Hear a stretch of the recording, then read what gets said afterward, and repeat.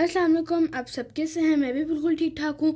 और आज की वीडियो बहुत इंटरेस्टिंग है। वो है लिप और लिप चीक स्टेंट बना रही हूँ मैं, ठीक है? तो देखते हैं उसके क्या इंग्रेडिएंट्स हमने लेनी है हाफ़ टी स्पून एलोवेरा इसको हमने फाइव मिनट्स तक शेक करना है, जब तक वो फ्लफ़ी नहीं हो जाती।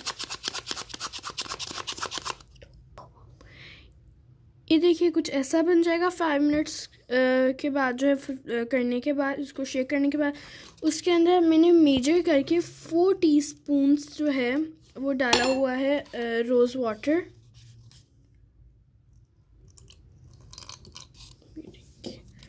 अब इसको हम अच्छी तरह और शेक कर लेंगे। बहुत इजी है और ये जो है जो इंग्रेडिएंट्स हैं, वो सबके घर जो है, वो ज़रूर होंगे। और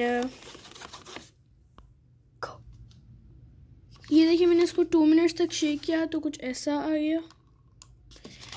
अब इसके अंदर हम डालेंगे four to five drops of any oil मैं जो डाल रही हूँ, वो है कोकोनट आलमंड ऑयल सॉरी आप लोग किसी का भी डाल सकते हैं।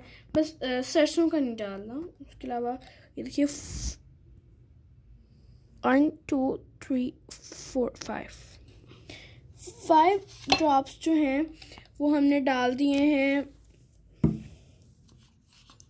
सॉरी फाइव ड्रॉप्स जो हमने डाल दिए हैं उस ऑयल के। उसके बाद अच्छी तरह इसको शेक करना है।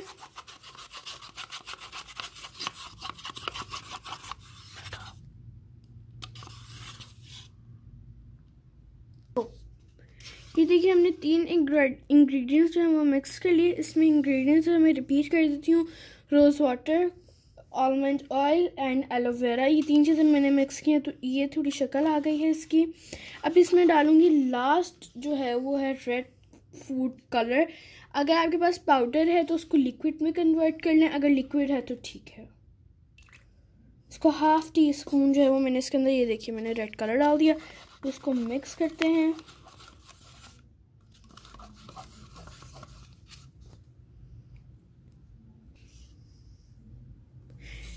ये देखिए, ये मैंने जो है रेड कलर डाला था। कुछ टेंट इस तरह का बन जाएगा। अब मैं आप उसको अप्लाई करके दिखाती हूँ बिल्कुल रेडी है। तो अप्लाई करते थोड़ा सा फिंगर्स पे लेके उसको यूँ अप्लाई करें। अब जितना चाहें इसको ब्लेंड भी कर सकते हैं। देखिए कितना अच्छा जो है वो आ गया है। तो उम्मीद है आपको आज की जो है वो वीडियो अच्छी लगी होगी और बहुत इजी टेंट है। ज़रूर बनाइएगा इसको और उम्मीद है आज की आपको वीडियो अच्छी लगेगी। इन मैं आपके साथ नेक्स्ट वीक